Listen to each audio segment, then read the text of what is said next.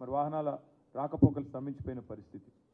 రాజన్న సిరిసిల్ల జిల్లాలో కూడా ఈరోజు కోనరావుపేట మండలం మల్కపేటలో రైతులు ధర్నా చేస్తూ ఉన్నారు. వరి ధాన్యం కొనుగోలు చేపట్టడం లేదంటే రాష్ట్ర వ్యాప్తంగా దాదాపు నేను కోట్ చేసింది కేవలం నాలుగు జిల్లాలు.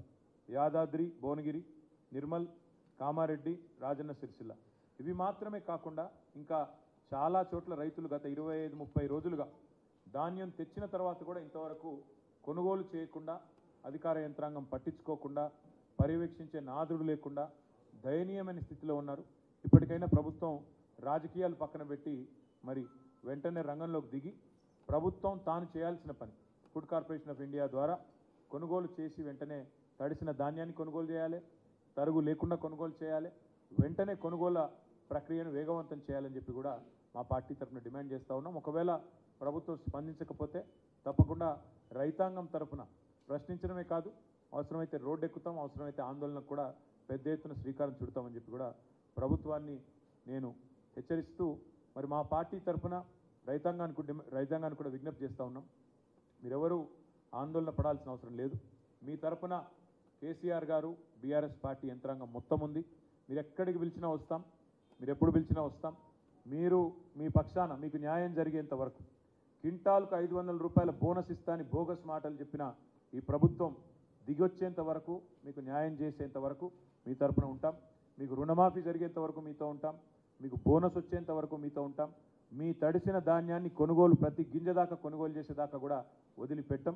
కొనుగోలు కేంద్రాల్లో ఈ ప్రక్రియ వేగవంతం అయ్యేదాకా కూడా వదిలిపెట్టం. ప్రజల తరపున రైతుల తరపున మేము మీ మీ పక్షాన నిలబడి మాట్లాడుతూనే ఉంటామని చెప్పి కూడా విజ్ఞప్తి చేస్తూ ఎవరు అధైర్యపడవద్దని ఎవరు కూడా మరి ఆత్మస్థైర్యాన్ని కోల్పోవద్దని చెప్పి కూడా ఈ సందర్భంగా విజ్ఞప్తి చేస్తూ ఉన్నాం. కష్టాల్లో ఉన్నప్పుడే తప్పకుండా ధైర్యంగా ఎదుర్కోవాలి. కాబట్టి తప్పకుండా మీ అందరి పక్షాన బీఆర్ఎస్ పార్టీ ఉన్నది కేసీఆర్ గారు ఉన్నారనే మాట కూడా గుర్తు చేస్తూ ఉన్నాం. దాంతోపాటు ఇవాళ ఒకవైపు పార్లమెంట్ ఎన్ని ఎలక్షన్లు మరి పదమూడు తారీఖు నాడు ముగిసినాయి. ఇప్పుడు మరొక ఎన్నికకు కూడా ఇప్పుడు తెరలేచింది. మూడు ఉమ్మడి జిల్లాలు నల్గొండ ఖమ్మం వరంగల్. ఈ మూడు జిల్లాల పరిధిలోని విద్యావంతులు మరి ఇరవై ఏడు తారీఖు నాడు ఓటి ఓటైపోతా ఉన్నారు. గ్రాడ్యుయేట్ ఎమ్మెల్సీ అభ్యర్థిగా తమకు ఎవరు ఉండాలి అని ఎంచుకోబోతా ఉన్నారు. ఈ మూడు జిల్లాల పరిధిలోని గ్రాడ్యుయేట్ ఎమ్మెల్సీ కాన్స్టిట్యున్సీ ఏదైతే ఉందో నాలుగు సార్లు ఇప్పటికి ఎన్నికలు జరిగినాయి. నాలుగింటికి నాలుగు సార్లు కూడా మరి టీఆర్ఎస్ పార్టీయే గెలిచింది బీఆర్ఎస్ పార్టీయే గెలిచింది. గతంలో కపిలవాయి దిలీప్ కుమార్ గారు రెండుసార్లు మరొక రెండు సార్లు పల్లా రెడ్డి గారు గ్రాడ్యుయేట్ ఎమ్మెల్సీగా మా పార్టీ నుంచి గెలిచొచ్చినారు. నాలుగు సార్లు ఈ నియోజకవర్గం నుండి గెలిచిన పార్టీగా మేము చాలా దృఢమైన విశ్వాసంతో ఉన్నాం. రాష్ట్రంలోని విద్యావంతులు మళ్ళీ తప్పకుండా ఈ మూడు జిల్లాల విద్యావంతులు తిరిగి మళ్ళీ కేసీఆర్ గారికి తప్పకుండా మరింత బలాన్ని చేకూరుస్తూ మా అభ్యర్థి ఒక విద్యావంతుడు యువకుడు ఉత్సాహవంతుడు బిట్స్ పిలానీలో ఇంజనీరింగ్ చేసిన అభ్యర్థి తర్వాత మాస్టర్స్ కూడా చేశారు. తదనంతరం సాఫ్ట్వేర్ రంగంలో అమెరికాలో దాదాపు ఏడు సంవత్సరాలు పనిచేసిన అభ్యర్థి. విద్యావంతుడు ఉత్సాహవంతుడు తిరిగి మొత్తంగా రాష్ట్ర వ్యాప్తంగా కూడా మరి బలమైన ఒక ఇమేజ్ యువతలో ఉన్న ఒక మంచి విద్యార్థికుడికి బీఆర్ఎస్ పార్టీ అవకాశం ఇచ్చింది సోదరుడు రాకేష్ రెడ్డి గారికి. అట్లాంటి రాకేష్ రెడ్డి గారు మరి ఈరోజు అభ్యర్థిగా మీ ముందుకు వస్తూ ఉన్నారు. ముఖ్యంగా ఈ మూడు జిల్లాల్లోని నాలుగు లక్షల డెబ్బై వేల పైచిల్కున్న విద్యావంతులైన ఓటర్లకు మా విజ్ఞప్తి ఒకటే.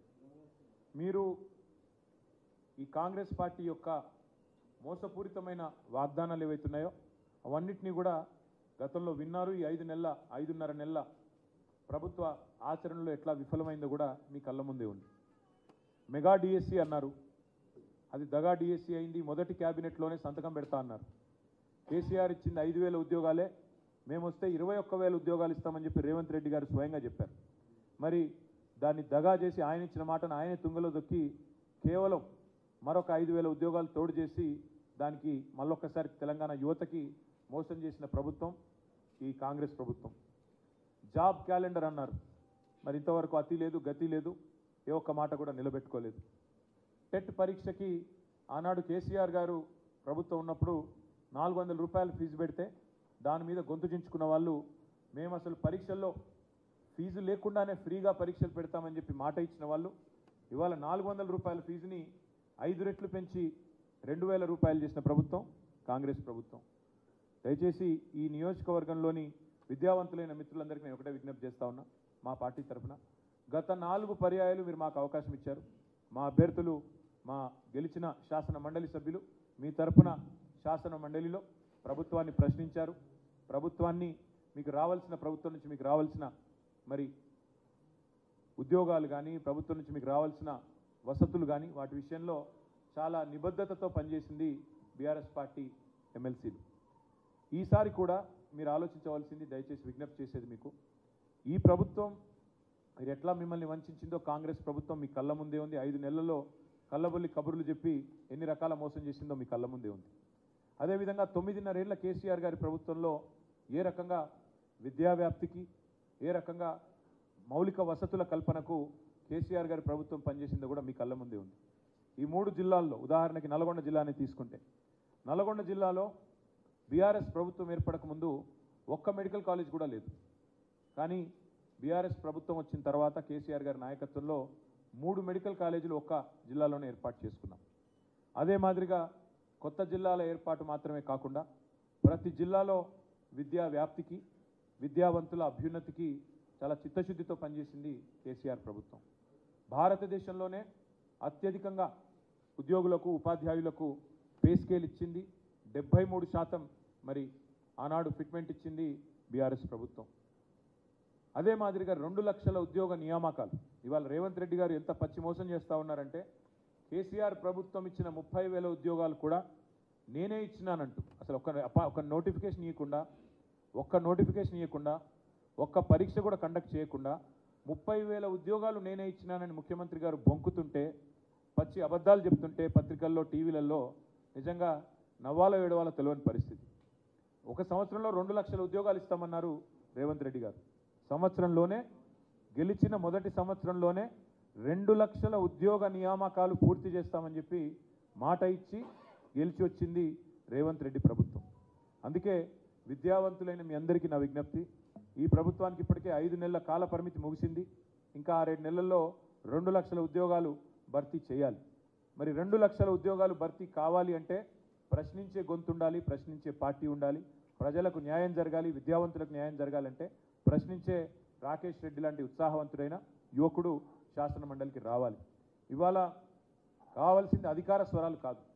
కావాల్సింది ధిక్కార స్వరాలు కావాల్సింది తప్పకుండా ప్రశ్నించే స్వరాలు తప్పకుండా ప్రభుత్వాన్ని నిలదీసే స్వరాలు కావాలి.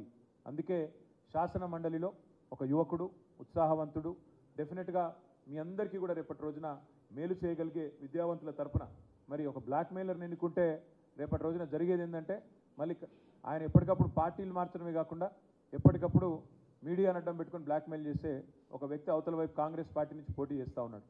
ఆయన ఎప్పుడు ఏ పార్టీలో ఉంటాడో తెలియదు ఎప్పుడు ఎవరిని నిందిస్తాడో తెలియదు. అట్లాంటి వ్యక్తులకు కనుక అవకాశం ఇస్తే గతంలో మనం నల్లగొండలో నయీంని చూసినాం. మళ్ళీ అట్లాంటి వాడిని ఇంకోని తయారు చేసినట్టు అవుతుంది. ఇట్లాంటి వ్యక్తులకు కనుక అవకాశం చట్టసభల్లో ఇస్తే దయచేసి అందుకే కోరేది ఒక యువకుడు విద్యావంతుడు ఉత్సాహవంతుడు మరి అన్నింటికి మించి ప్రశ్నించే సత్తా ఉన్నవాడు చదువుకున్నవాడు. ముఖ్యంగా పెద్ద ఎత్తున అవసరమైతే అమెరికాలోనే స్థిరపడి అక్కడే కోట్ల రూపాయలు సంపాదించుకునే అవకాశం ఉన్నా దానికి కాదని రాజకీయాల్లోకి వచ్చి ప్రజా జీవితంలోకి వచ్చి ఇవాళ మీ ఆశీర్వాదం కోసం మీ ముందుకు వస్తున్న తమ్ముడు రాకేష్ రెడ్డి గారికి అవకాశం ఇచ్చి గెలిపించాలని కోరుతూ మా పార్టీ పరంగా కూడా మా నాయకులందరం కూడా మీటింగ్ పెట్టుకున్నాం. మరి రాబోయే పది రోజులు ఎందుకంటే ఇరవై ఐదు తారీఖు లాస్ట్ ప్రచారానికి ఈ పది రోజులు కూడా అందరం కూడా ఎక్కడి వాళ్ళం అక్కడ కష్టపడదామని నిర్ణయం తీసుకున్నాం. మా పార్టీ మా పార్టీ పరంగా పూర్తి ఎఫర్ట్ పెడతాం. తప్పకుండా తమ్ముడు రాకేష్ రెడ్డి గారిని మూడు జిల్లాల విద్యావంతుల ఆశీస్సులతో గెలిపించుకుంటామని చెప్పి కూడా ఆశాభావంతో మీ అందరికీ కూడా ధన్యవాదాలు. మీలో కూడా ఓట్లున్న వాళ్ళు కూడా దయచేసి మాకే ఓటేయాలని చెప్పి కూడా హృదయపూర్వకంగా విజ్ఞప్తి. థ్యాంక్ యూ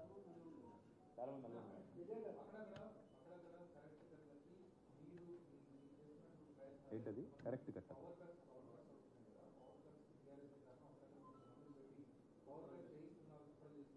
రేవంత్ రెడ్డి గారికి కేసీఆర్ గారికి తేడా ఏంటంటే కేసీఆర్ గారు పదేళ్ళు ప్రభుత్వాన్ని నడిపిన ఎన్నడూ ఒక పొల్లు మాట కూడా రాష్ట్ర ప్రభుత్వ ఉద్యోగుల గురించి మాట్లాడలేదు. ఎందుకంటే వారితో మాకున్నది పేగుబంధం. ఉద్యమంలో కలిసి పనిచేసిన వాళ్ళం రాష్ట్ర ప్రభుత్వ ఉద్యోగులతో. సకల జనుల సమ్మె చేసిన పెన్ డౌన్ చేసిన సింగరేణిలో స్తంభింపజేసిన ఆర్టీసీ చక్రం తిరగకుండా ఆపిన ఉద్యోగులతో మా పార్టీకి ఉండేది పేగుబంధం. అందుకే ఎన్నడూ కూడా మేము ఉద్యోగుల పట్ల కుదిరితే కుదిరితే ప్రేమగా ప్రేమపూర్వకంగా వ్యవహారం చేసిన తప్ప ఎన్నడూ నిందించలేదు. ఇవాళ రేవంత్ రెడ్డి తన అసమర్థతను తన ప్రభుత్వ చాతగాంతనాన్ని కప్పిపుచ్చుకోవడానికి విద్యుత్ సంస్థ ఉద్యోగులు నిందిస్తూ ఉన్నాడు. మరి విద్యుత్ సంస్థ ఉద్యోగులు కూడా ఆలోచించాలి. మీరేమో అహోరాత్రులు కష్టపడతా ఉన్నారు. రాష్ట్రంలో విద్యుత్ వ్యవస్థను కేసీఆర్ గారు ఏడు వేల ఏడు వందల మెగావాట్ల నుంచి జగదీష్ రెడ్డి గారి అన్నాడు మంత్రిగా ఉన్నప్పుడు ఏడు వేల ఏడు వందల మెగావాట్ల నుండి ఇవాళ దాదాపు కొత్తగా దామెరచర్లలో యాదాద్రి ఏదైతే ఇప్పుడు కమిషన్ అయిందో పదహారు వందల మెగావాట్లు దాంతో కలుపుకుంటే దాదాపు ఇరవై వేల మెగావాట్లు దాటిపోయినట్టు దాదాపు ఇరవై వేల మెగావాట్లకు చేరుకున్నది. అంటే విద్యుత్ సంస్థ ఉద్యోగుల కష్టం జెన్కో కానీ ట్రాన్స్కో కానీ డిస్కామ్లు కానీ అద్భుతంగా ఉంది కాబట్టే అక్కడి నుంచి ఇక్కడ దాకా వచ్చాం. అది గుర్తించకుండా కామన్ సెన్స్ లేకుండా ఇవాళ తన చేతగానితనాన్ని కప్పిపుచ్చుకోవడానికి పదేళ్ళు కేసీఆర్ గారి ప్రభుత్వంలో కరెంటు కోతలు లేకుండా బ్రహ్మాండంగా ఏ ఉద్యోగులైతే నిర్వహించారో ఇవాళ ఆ ఉద్యోగులను నిందిస్తూ చిల్లర రాజకీయానికి ముఖ్యమంత్రి ఏదైతే పాల్పడుతున్నాడో ఆయన ఆలోచించుకోవాలి. ఎందుకంటే ఆయన విజ్ఞతతో మాట్లాడాలి? ఇవాళ ఎలక్షన్ అయిపోయింది. ఎందుకు మాట్లాడుతున్నాడు ఇట్లా? తన చేతగాంతనం బయటపడుతుందనా? అదే చెప్తున్నా బ్రదర్ ముఖం బాగాలేకపోతే అద్దం బాలు కొట్టినట్టు వెనకటికి ఎవడు. అట్లున్నది కథ ఇది. ఆయనకు చేత కాదు ప్రభుత్వాన్ని నడపడం. ఏ ప్రభుత్వాన్ని అయితే కేసీఆర్ గారు సమర్థవంతంగా నడిపారో ఏ డిస్కంలను అయితే నడిపారో ఏ డిస్కంలో ఉద్యోగులు అయితే అహర్నిశలు శ్రమించి ఆఖరికి శ్రీశైలంలో పంప్ హౌస్ మునిగిపోతే కూడా కష్టమైతే కూడా నష్టం జరిగితే కూడా ప్రాణ నష్టం జరిగితే కూడా అహర్నిశలు శ్రమించింది ఇదే ఉద్యోగులు. వాళ్ళని ఇవాళ నిందిస్తూ రాష్ట్ర ప్రభుత్వ ఉద్యోగులను ఇన్సల్ట్ చేయడం అనేది ముఖ్యమంత్రికి తగదు. ఇకనైనా రేవంత్ రెడ్డి గారు తాను ముఖ్యమంత్రి అనే విషయాన్ని గుర్తు తెచ్చుకుంటే మంచిది. ఇంకా ప్రతిపక్షంలో లేడు. ప్రతిపక్షంలో ఉన్నప్పుడు ఇట్లే గావు కేకలు పెడబొబ్బలు. అప్పుడు పోలీసులను తిట్టిండు ఉద్యోగులను తిట్టిండు కొంతమంది తొత్తులు అన్నాడు మళ్ళీ ఐఏఎస్ అధికారులను తిట్టిండు బీహారీ గ్యాంగులు అన్నాడు. ఇంకా కూడా అదే దిక్కుమాలిన మాటలు మాట్లాడుతున్నాడు. ఇది మంచిది కాదు. ఇప్పుడు ఆయన ముఖ్యమంత్రి ఇప్పుడు ఆయన ముఖ్యమంత్రి ముఖ్యమంత్రి ముఖ్యమంత్రిలాగా మాట్లాడాలా? ప్రభుత్వాధినేత ప్రభుత్వాధినేత తన కింద పనిచేసే వాళ్ళు తానే నమ్మకపోతే తన పరిధిలో పనిచేసే ప్రభుత్వ ఉద్యోగులను తానే నమ్మకపోతే ప్రభుత్వ ఉద్యోగులను తాను గుర్తించకపోతే దారుణం. నిన్న నారాయణ ఖేడ్లో నేను చూస్తూ ఉంటే నిన్న నారాయణ ఖేడ్లో టీచర్ల మీద లాఠీచార్జ్ చేస్తారండి? నారాయణ ఖేడ్లో నిన్న ఏం చేసిండ్రు టీచర్లు? పోలింగ్ డ్యూటీ చేసిండ్రు. పోలింగ్ డ్యూటీ చేసినాక దానికి సరిపడా వేతనం మీద ఉంటుంది ఆ వేతనం ఇవ్వాలా? అది ఇవ్వలేదు. ఇవ్వకపోగా అడిగితే వాళ్ళ మీద లాఠీ చార్జ్. ఒకవైపు టీచర్ల మీద లాఠీ చార్జ్. ఇంకోవైపు విద్యుత్ ఉద్యోగుల మీద నిందలు. ఇది కరెక్టా? ఒక ముఖ్యమంత్రి చేయాల్సిన పని ఇది? ప్రభుత్వం చేయాల్సిన పని? ప్రభుత్వం తన దగ్గర పనిచేసే ఉద్యోగులను సమర్థవంతంగా వారి దగ్గర పని తీసుకోవాలి. ప్రజలకు సేవ చేయాలి. ఆ పని చేయకుండా ప్రతిపక్షాలను నిందిస్తే ఏమొస్తుంది ఆయనకి?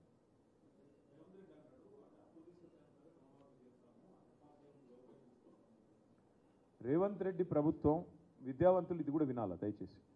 రేవంత్ రెడ్డి ప్రభుత్వం శ్వేతపత్రాల పేరిట కొన్ని రోజులు గాడి గారడీ చేసింది. ఇది ప్రభుత్వం వచ్చిన కొత్తలో శ్వేతపత్రాలు ఖజానా అప్పుల పాలైంది అది ఇది అని చెప్పి సొల్లు మాటలు చెప్పారు. నిన్నగాక మొన్న రిజర్వ్ బ్యాంక్ ఆఫ్ ఇండియా వారి వాదన చిత్తు సమానమని కొట్టవతలు బారేసింది. రిజర్వ్ బ్యాంక్ ఆఫ్ ఇండియా మొన్న విడుదల చేసిన నివేదిక దయచేసి మీరందరూ తెప్పించుకొని చూడండి. సరే ఇప్పుడు పత్రికలు మీరు రాయరు మాకు తెలుసు ఇప్పుడు పాపం మీ బాధలు మీకున్నాయి కానీ. వాస్తవం జరిగింది ఏంది? మూడు లక్షల ఎనభై తొమ్మిది వేల కోట్లు మాత్రమే రాష్ట్ర ప్రభుత్వ అప్పు. ఏడు లక్షల కోట్లు అని కాంగ్రెస్ ప్రభుత్వం చేస్తున్న ప్రచారం చిల్లర ప్రచారం దివాలా కోరు ప్రచారం అని చెప్పి రిజర్వ్ బ్యాంక్ ఆఫ్ ఇండియా నిన్నగాక మొన్న ఎండగట్టింది. దయచేసి తెప్పించుకొని చూడండి.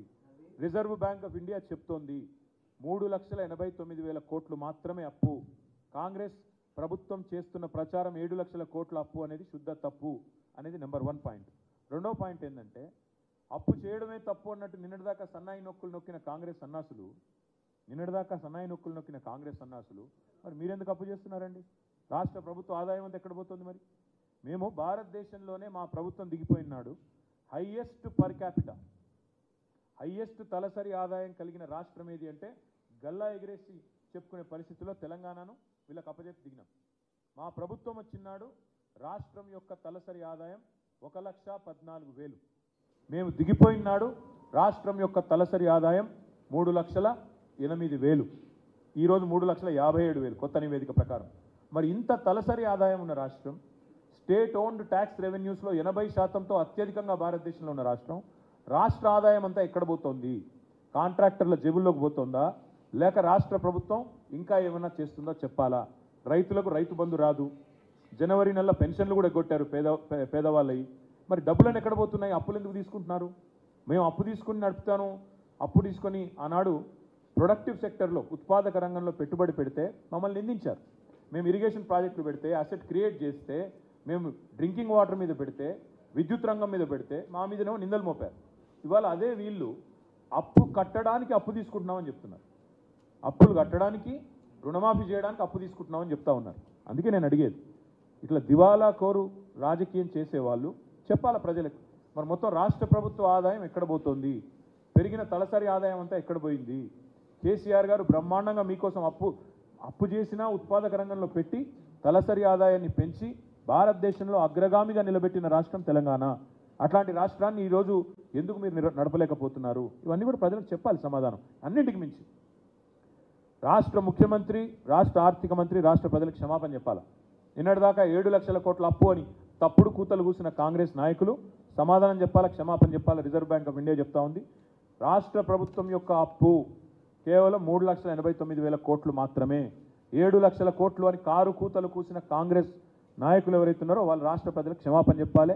శ్వేతపత్రాలు తప్ప- పచ్చి అబద్ధాలు చెప్పినందుకు క్షమాపణ చెప్పాలి. థ్యాంక్ యూ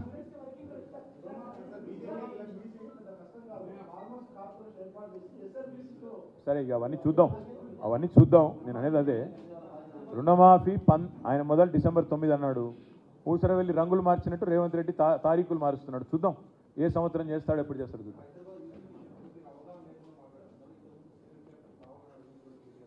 మళ్ళీ చెప్తా ఉన్నా అవగాహన లేకుండా మాట్లాడేది ఎవరో జూన్ నాలుగు తర్వాత తెలుస్తుంది. బీజేపీ కుట్రలు డెఫినెట్గా రాష్ట్ర ప్రజలు అర్థం చేసుకున్నారు. వాళ్ళకి హైదరాబాద్ మీద వాళ్ళ ఆలోచన వేరే ఉంది. మీరు చూస్తారు ఏం జరగబోతుందో మీరు చూస్తారు. ఎవడెవడేదో వాగుతాడు దాన్ని నేను ఏం చెప్తా